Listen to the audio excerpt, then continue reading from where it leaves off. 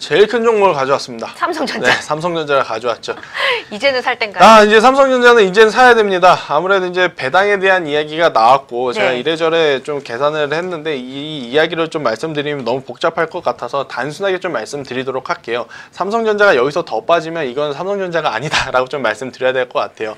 근데 이게 여기서 가는데 시간은 또 어떨까요? 아까 뭐 기회비용 업대 주셨는데 사실 이게 금요일에 위기의 종목으로 나왔거든요. 아, 예, 그럴 수 어떡하지? 있어요. 네, 그러니까 이게 이제 보는 사람마다의 시각이 좀 다를 것 같은데요. 네. 저는 이제 삼성전자를 지금 왜 사야 되냐라고 한다면 삼성전자를 가지고 단기 투자를 하려는 사람은 저는 없다라고 봅니다. 음. 뭐 아무래도 이제 당일 등락률이 많아봐야 3% 4%인 이 종목을 가지고 네. 단타로 접근하시는 분들은 저는 없을 거다라는 관점에서 보는 건데요. 그렇다라고 한다면 바로 삼성전자 같은 이 황제주는 중장기 관점으로 보시는 분들이 음. 보시는 분들이 저는 굉장히 많다라고 생각이 돼요.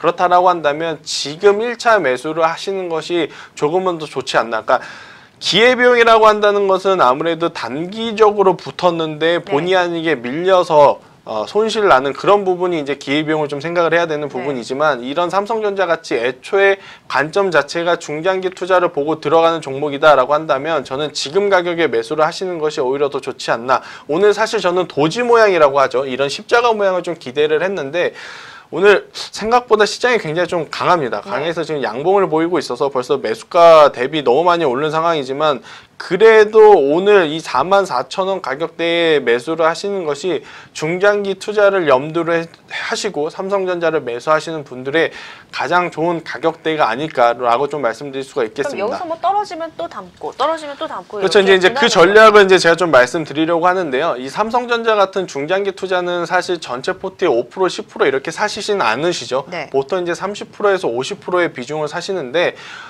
만약에 30%나 50%를 사시려고 한다라고 한다면 세 번에 나눠서 산다라고 생각을 하시면 될 것 같아요. 이제 그 중에 1차 매수를 오늘 이번 음. 주에 한다라는 관점에서 천천히 매수. 한 번에 뭐 매수를 하는 것보다는 뭐 시간대별로 10시에 얼마, 11시에 또 몇 주, 12시에 몇 주 이렇게 최대한 분할로 이제 나눠서 사시는 전략이 오히려 더 좋지 않나라고 좀 말씀드릴 수가 있겠습니다. 삼성전자는 사실 이 180조 투자가 나오면서 반도체에 대한 기대감은 여전히 견고하고 또 신규 사업 플랫폼이라고 할 수 있는 이 5G 그리고 네. AI 그리고 또 자율주행 모멘텀 그리고 이제 하반기에는 폴더블 폼까지도 어, 기대가 굉장히 되는 상황이기 때문에 저는 여기서 한번 더 치고 갈 확률은 높다라고 봅니다. 지금의 아, 조정, 그러니까 현재까지의 조정은 액면 분할 이후 사실 이렇다 할 모멘텀이 딱히 없었어요. 또 갤럭시 노트도 그렇게 흥행했던 것도 아니고 또 1, 2분기의 실적이 너무 1분기의 실적이 너무 좋았기 때문에 그런 부담감으로 인한 아, 시-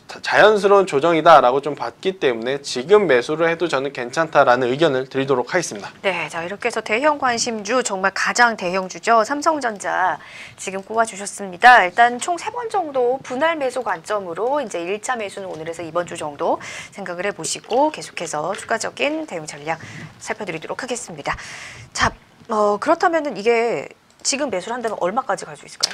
일단 삼성전자를 만약에 오늘 매수를 해서 목표가를 잡아본다라고 한다면 저는 1차적으로는 사실 이 앞전에 매물대가 있는 여기까지는 올라가긴 하겠지만 그 이상은 조금 시간이 걸린다라고 봐- 아, 봅니다. 그래서 그럼, 예. 1차적으로는 4만 7천 원을 목표가로 좀 드리지만 그래도 내년 좀 여름까지, 그러니까 내년 이 시즌까지 본- 생각을 한다면 다시금 이 5만 원대까지는 충분히 갈 수 있지 않을까라는 관점에서 굉장히 이제 긴 호흡이죠. 중장기 포트에 넣어 보신다라고 한다면 저는 좋지 않을까라는 말씀을 드릴 수가 있겠습니다. 네, 액면 분할 딱 그 가격까지도 아니네요. 그렇죠. 네. 일단 그거까지는 조금 어렵 한 네. 번에 올라가기는 어렵고요. 음. 일단 4만 7천 원까지 갔다가 한 두어 달 또 횡보 혹은 조정의 시간을 거쳐서 다시 올라갈 수 있지 않을까라고 좀 말씀드릴 수가 있겠습니다. 그러면은 그때 막, 막 기대감 막 이런 얘기를 할때 네.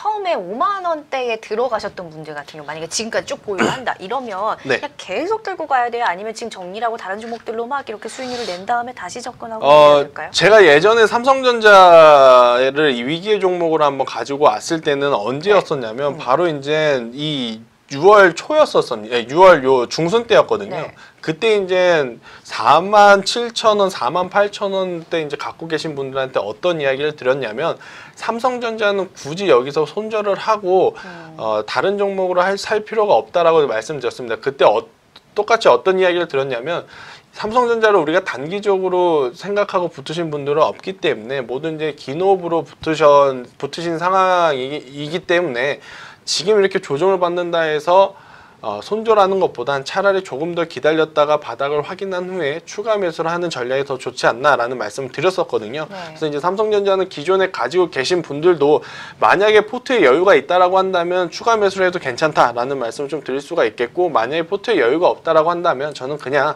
어, 잠시 조금 잊어 잊어 버리시고 네. 그냥 놓으신다라고 한다면 내년 정도에 한번 열어보시면 좋지 않을까라고 말씀드릴 수가 있겠습니다. 지금 이렇게 사두고 묻어두는 전략이 네. 필요할 것 같습니다.